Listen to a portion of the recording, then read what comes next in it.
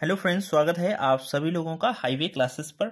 आज हम आपको बताएँगे कि रेलवे ग्रुप डी का क्या फैसला आया है, एनटीपीसी के रिगार्डिंग क्या हुआ है, और 20 गुना का मैटर था, पेपर एक होना था, रेलवे जो ग्रुप डी का उस पर क्या रहा, रिवाइज रिज़ल्ट आएगा कि नहीं आएगा, अब नौकरी कैसे लें मतलब क्या हमारी स्ट्रेंथ होनी चाहिए, क्या हम तरीका अपनाएँ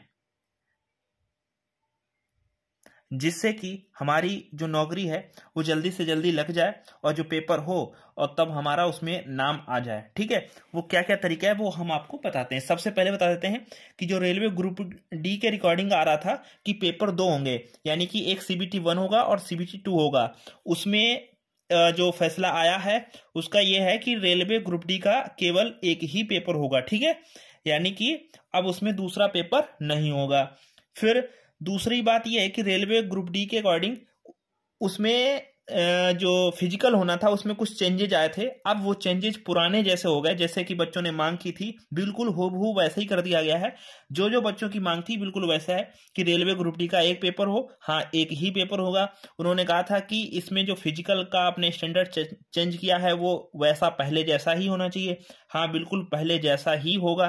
बाकी एक सवाल था E W S E W S का था कि मेरा मेरा ई डब्ल्यू एस इतने का बनाए तो आप किसी भी जो है टाइम का ए डब्ल्यू एस वो भी मान्य होगा, ठीक है? फिर एनटीपीसी के अकॉर्डिंग है कि इसमें रिवाइज रिज़ल्ट आएगा, इसमें 20 गुना बच्चा लिया जाएगा, ठीक है? यानी कि इसमें एनटीपीसी में ये था कि एक ही बच्चा कई लेवल पर क्वालिफाई हो गया था, जिससे बाकी जो दूसरे बच्चे थे, उन्हें मौका नहीं मिला। तो जो एनटीपीसी की जो वैकेंसी थी उसमें आपको 20 गुना बच्चा लिया जाएगा रिवाइज रिज़ल्ट आएगा, जो सिलेक्टेड है उन पर कोई फ़र्क नहीं पड़ेगा, बाकी जो बच्चे नहीं आए थे, वो 20 गुना बच्चे उसमें रिज़ल्ट में ले लिए जाएँगे, ठीक है?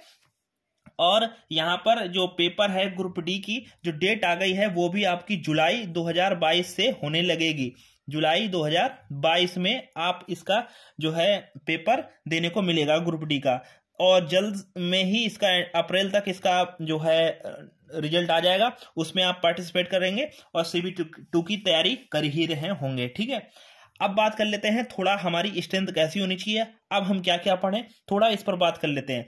यानी कि जो आपकी मांगे थी, वो मानी गई हैं, यानी कि जो भी आपने मांगे, मांगनी थी, वो सारी की सारी मानी गई हैं, उसमें कोई कुछ दिक्कत वाली बात नहीं है। अब नौकरी कैसे लें?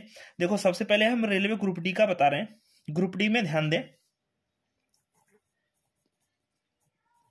ग्रुप डी वाले बच्चे, ध्यान दें, हालाँकि आपको देना सबको है, चाहे जो एनटीपीसी में पास हो गया था, उसको भी ग्रुप डी देना ही है, वो देगा ही, क्योंकि अभी तक उनकी ज्वाइनिंग नहीं हुई। हाँ ज्वाइनिंग हो जाता है तो कुछ बच्चे ज्वाइनिंग होकर नहीं देते लेकिन अभी तो देना है। सबसे पहले आप ध्यान दो, रेलवे ग्रुप डी का पेपर कितना होगा? पेपर तो एक ही होगा। एक ही पेपर होगा, ठीक है? तो इसमें हमें कोई दिक्कत नहीं आएगी।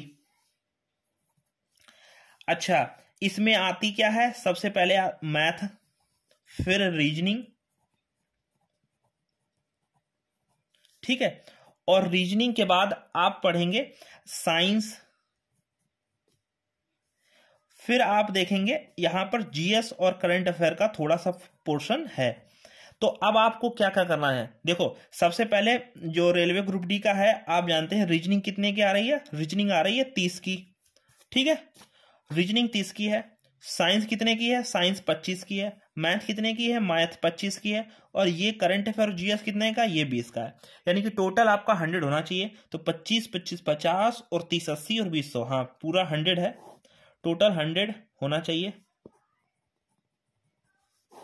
अब इसमें आप कितना स्कोर करें कि आप सेफ़ रहेंगे, ठीक है? मैं आपको इतना बता रहा हूँ, कितना स्कोर करें। यहाँ पर इसकी कट ऑफ़ क्या रहने वाली है? तो देखो, अगर आप इसकी कट ऑफ़ के बारे में बात करोगे कि यानी कि आप, हम हम कितना करें जिससे हमारा जो है स्कोर सेफ़ रहे और हम आ सकें रेलवे ग्रुप डी में। तो ध्यान दें, देखो, आपने देखा होगा कि जो यूट्यूब वालों ने जो स्ट्रेंथ बताई थी कि ग्रुप डी में मतलब सॉरी, जो एनटीपीसी में आप सिर्फ़ साठ नंबर लाओ तो आपका हो जाएगा, ये लाओ तो अब वो कोई नहीं हो पाया, ठीक है? वो ऐसा नहीं हो पाया। तो ऐसे ही आप देख रहे होंगे, रेलवे जो, हालाँकि बच्चे सब सतर्क हो चुके हैं, वो किसी की बात नहीं मानते, बस सिर्फ़ पढ़ने में लगे हैं, ऐसा मानना है। लेकिन हम थोड़ा गाइडेंस के रूप में आपको बताएँगे, ठीक है? ये भी मेरी एक वो है कि आप इस तरीके से आप करेंगे तो पक्का यहाँ पर होने की चांसेस ज़्यादा बढ़ जाएँगे, ठीक है? तो लेकिन ध्यान दीजिए, जैसे ग्रुप डी में अभी आपने देखा होगा वीडियो कोई कहता नहीं आप पचास ले आओ, आप साठ ले आओ, आपको बीस नंबर मिलेंगे। आप इस तरीके के झांसे में नहीं रहना है, आपको पूरी मेहनत से, ईमानदारी से तैयारी करनी है। इस बार ज़्यादा नॉर्मलाइजेशन का चक्कर नहीं होगा, ज़्यादा जो वेरिएशन देखने को नहीं मिलेगा ग्रुप डी में, जितना ज़्यादा से ज़्यादा जो है एक शिफ्ट में बच्चे बैठा ले जाएँगे। और उसको ज़्यादा से ज़्यादा जल्दी करा लिया जाएगा, जिससे नॉर्मलाइजेशन का जो डिफरेंस है वो कम से कम रहे, ठीक है? इसीलिए आप ध्यान दें, आपको टोटल जो हंड्रेड है तो आपको लगभग लगभग लगभग लगभग आप अस्सी से पचासी पर पहुंचिए। देखिए, अस्सी से पचासी क्वेश्चन आपके सही होने चाहिए। यानी कि इतने क्वेश्चन क्या हो? इतने क्वेश्चन आपके सही हो पचासी क्वेश्चन अब हम साठ और सत्तर नहीं कहेंगे, हम कहेंगे अस्सी, पचासी से क्वेश्चन के बीच में सही होना चाहिए, यानी कि आपके इतने क्वेश्चन आने चाहिए। क्योंकि अगर आप तीन साल से मतलब ये चौथा साल है थ्री ईयर से अगर आप तैयारी कर रहे हो तो अभी भी आप अस्सी, पचासी नहीं पहुँच पाए हो, फिर गड़बड़ है। क्योंकि आपको अस्सी, पचासी, हालाँकि होने को तो हो सकता है कि सत्तर से ऊपर वालों का हो जाए, सत्तर से ऊपर के चांस रहेगा। अच्छा इसमें सत्तर के ऊपर चांस है, मान लो पड़ा, उसको दस नंबर मिला तो हो सकता है, हो जाए उसका। लेकिन हम आपको कहेंगे कि अस्सी, पचासी नंबर आपको खींच के लेके चलना पड़ेगा, ठीक है? क्योंकि इतने दिन से पेपर पड़ा हुआ है होता क्या है मेरिट कट ऑफ़ जाने का चांसेस इसलिए कम हो जाता है, क्योंकि पेपर होता है तो सारे लोग नहीं होते। इस समय सारे लोग पढ़े हैं, सबका किसी का ज़्यादातर भी जो है ज्वाइनिंग नहीं हुई है। लेकिन पहले जो बीच में थे, उनकी तो ज्वाइनिंग हो गई। फ़ायदे वाली बात यह है कि इसमें अभी कोई जैसे नया कैंडिडेट एंट्री नहीं किया है। तो पहले के ही पड़े हुए हैं, कोरोना वायरस पहले से ही पड़ा हुआ है। तो बहुत से बच्चे ज्वाइनिंग भी खैर हो गए हैं। तो उसमें थोड़ा सा इधर उधर पड़ेगा, लेकिन जो जो लोगों की ज्वाइनिंग नहीं हुई थी, वो खूब खींच के पड़े हैं, कोरोना वायरस वायरस के टाइम में, जो लोग घर पे रहे हैं, वो खूब तैयारी करे हैं, खूब खींच के। तो ऑनलाइन पढ़े हैं ऑफलाइन पढ़े हैं, सब पढ़े हैं तो अब पता नहीं है कौन कितना पढ़ा है, कौन कितना खींच के नंबर लाए तो इसीलिए आप ध्यान रखें, अस्सी से पचासी आप ले रहे होंगे। और सभी लोग मॉक टेस्ट ज़रूर लगाएँ तो मॉक टेस्ट में ही है। अब आप देखो अस्सी, पचासी कैसे खींच सकते हो। तो आपको मैथ में जो नंबर लाने हैं, वो आपको लाने हैं तेईस रीजनिंग में लाने हैं, वो लाने हैं अट्ठाईस और साइंस में मान चलते हैं आपके बीस नंबर आए, और जीएस और करंट अफेयर में बीस की जगह मान लेते हैं दस नंबर आए। अब आप जोड़ के देखते हैं इतना कितना आया। हालाँकि मैं पहले से कुछ प्रिपेयर करके नहीं, मैं ऐसे ही बता रहा हूँ आपको, ध्यान दें। आठ और तीन ग्यारह का एक, हासिल कितने लग जाएँगे? एक। दो दो चार और दो छ और एक। दो दो चार, दो छः और एक सात और एक हासिल आठ। अब देखिए आप इक्यासी पहुँच गए। मतलब आपको इतना करना ही है, वही मैंने आपको अस्सी पचासी के बीच में बताया। अब तेईस, अट्ठाईस, बीस, दस, ये है। हमने इसमें आपको बीस में अठारह नहीं करे, पंद्रह नहीं करे। साइंस के हमने आपको क्वेश्चन जो है, पच्चीस की जगह बीस नहीं करे मतलब पच्चीस की जगह तेईस, चौबीस नहीं करें। मतलब वो स्कोर लिया है जो कर सकते हैं आप लोग। और हमारी कोचिंग वगैरह में और भी बच्चे कई कोचिंग में और आप लोग खुद जो वीडियो देख रहे होंगे, वो करते होंगे ऐसा। ठीक है? वो लोग श्योर हो जाएँगे। ठीक है? तो आप इस तरीके से स्ट्रेंथ रखिए इसमें। बाकी जो एनटीपीसी के जिनका रिज़ल्ट नहीं आया है, जिनको आने को है तो उसको उम्मीद रखिए एनटीपीसी में क्या होगा, वो मैथ आएगी रीजनिंग आएगी और जीएस आएगी। ये सब आना है, ठीक है? इसमें टोटल आपका जो सेकेंड स्टेज है, उसमें आपको 120 क्वेश्चन करना पड़ेगा। शायद इसमें पचास है, इसमें सब पैंतीस पैंतीस है, ऐसा आप देख लेना। और तो अगर आप इसमें मेहनत करेंगे तो ये इसमें काम आ जाएगा।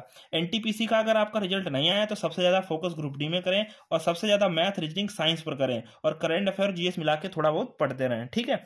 इससे क्या होगा कि आपका जो रिज़ल्ट है, वो ज़रूर तैयार हो जाएगा। ठीक है? तो आपको ये लेक्चर कैसा लगा आप हमें कमेंट बॉक्स में ज़रूर बताएँ। इसमें कुछ आपको हेल्प हुई कि नहीं हुई?